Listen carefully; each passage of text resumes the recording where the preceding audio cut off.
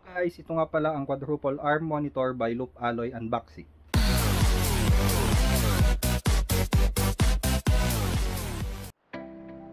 Kung nakikita nyo, ito yung current setup natin sa monitor natin. Wala na siyang space sa baba. Kasi hindi lang pang computer to, for workstation rin. Ayan, tignan natin yung mount niya, or monitor arm. Triple monitor arm siya. First arm, second, tsaka third arm. Kung makikita nyo, uh, sagad na yung height niya para may yung monitor. I-compare natin sa bago. Ayan, mas mataas. So, tsaka natbuin natin tong monitor arm na to. So, ito yung arm monitor natin. Uh, may user manual tayo. So, may mga box pa sa loob. Isa-isahin natin. Uh, unahin na natin itong maliit.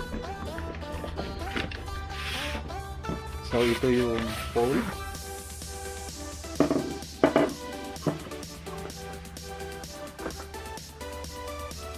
Then,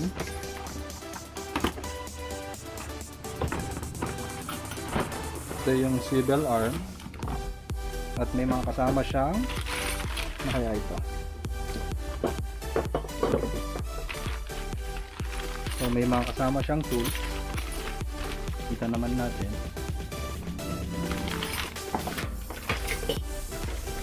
Ang isang malaki pa ulit.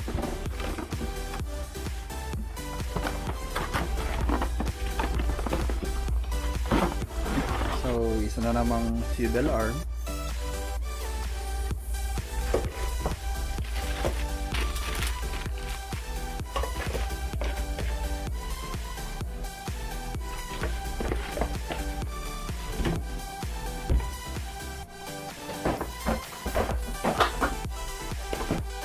Ito yung mga ibang pyesa niya.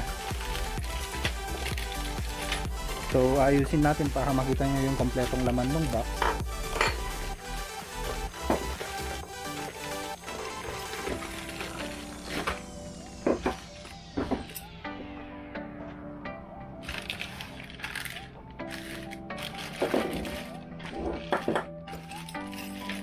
Yan.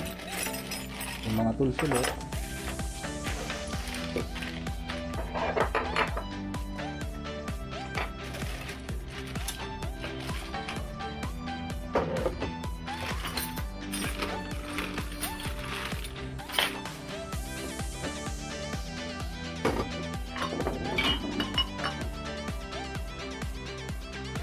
ating box. So, unahin natin isa-isa ko. So, screw, spacer, wire clip, nut, tsaka allen key. Kasama nito, mga pare-parehas rin, spacer tsaka screw. Lapit natin para makita mo. Ito, wire clip,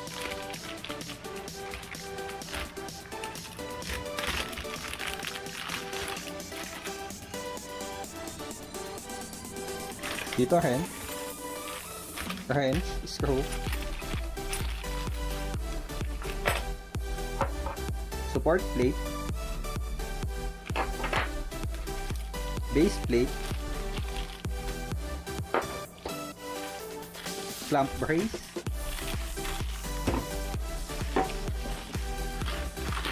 Clamp base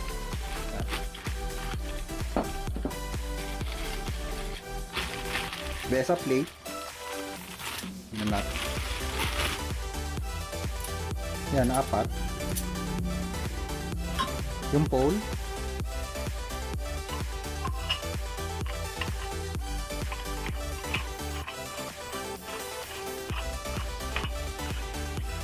Yan, lagyan natin sa ibaba. At saka yung swivel arm. Yan, medyo mahigpit. Luwagan na lang natin mamaya.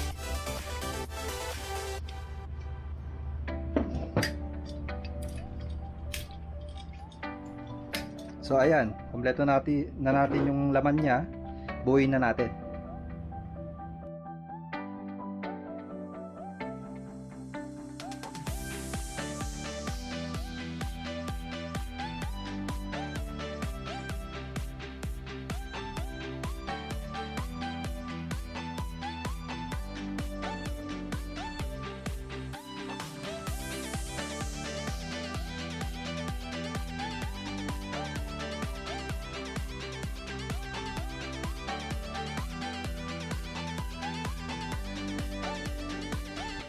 Unahin natin yung clamp base sa itong clamp brace. Bubuksan muna natin itong clamp base.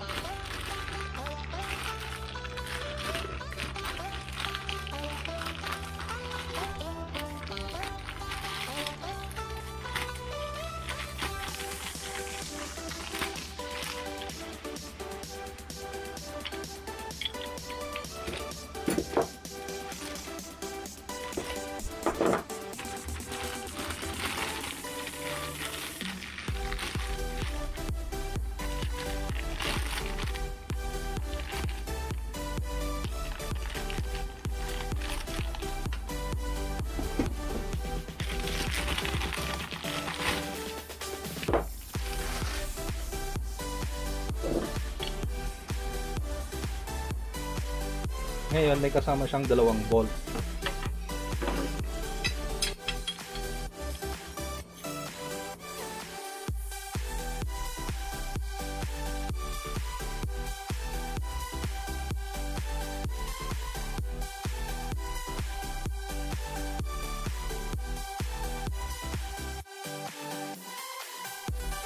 Ngayon, yung pole naman,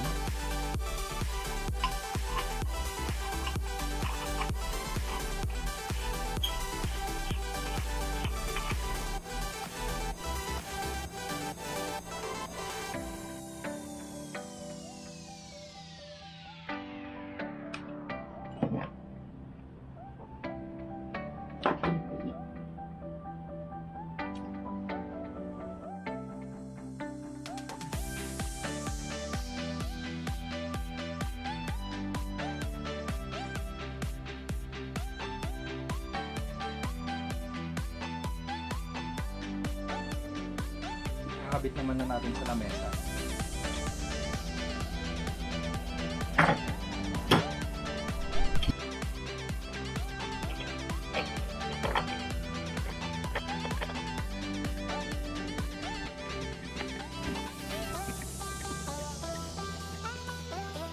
Ngayon naman, kunin na natin yung isang swivel arm natin at saka isang wire clip.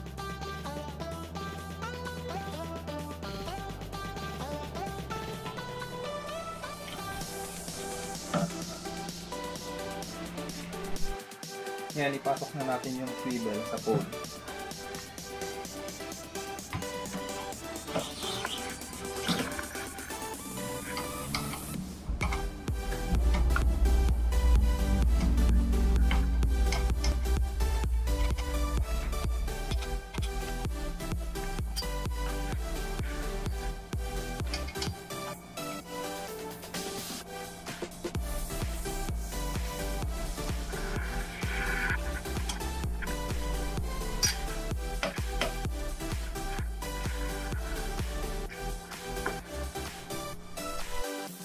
Ngayon naman, kunin natin yung pangalawang swivel arm natin sa isa.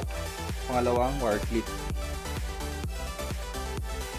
Ngayon naman, ipasok natin yung pangalawang whole wire clip.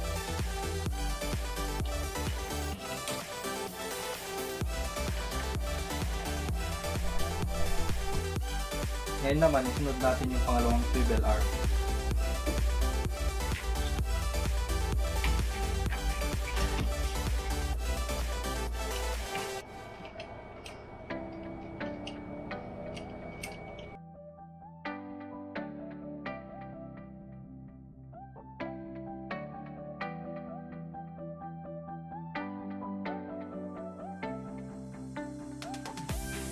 Ngayon naman, isunod natin yung walong wire clip.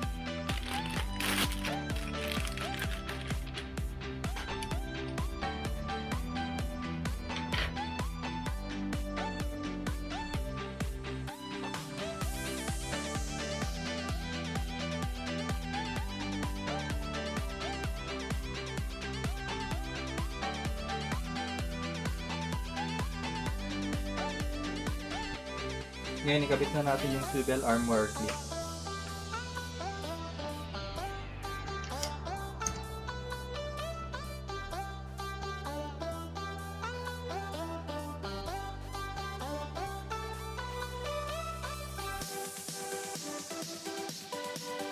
Ngayon naman itong VESA plate. Ang gamit nito, dito mo i-mount yung monitor mo. Itong VESA plate, may kasama siyang nut, apat na rin. Kabit na natin.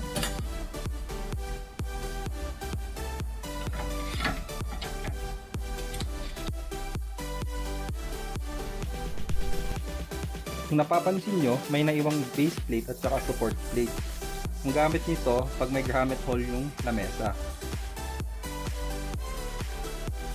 Ito na yung nabuong quadruple arm monitor.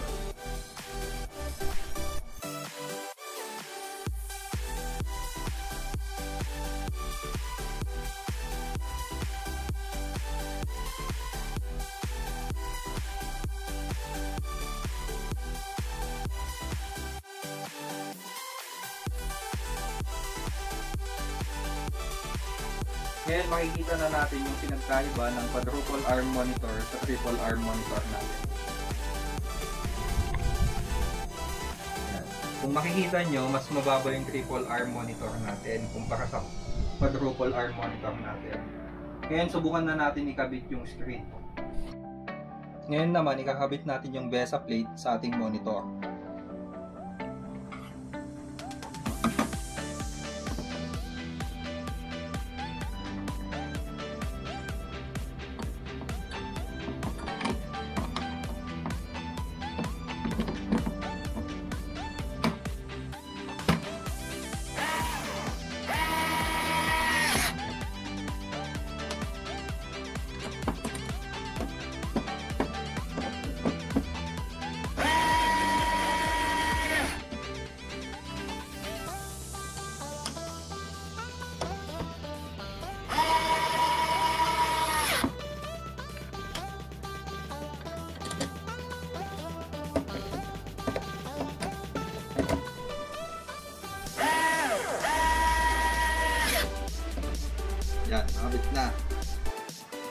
Na yung bagong setup namin guys.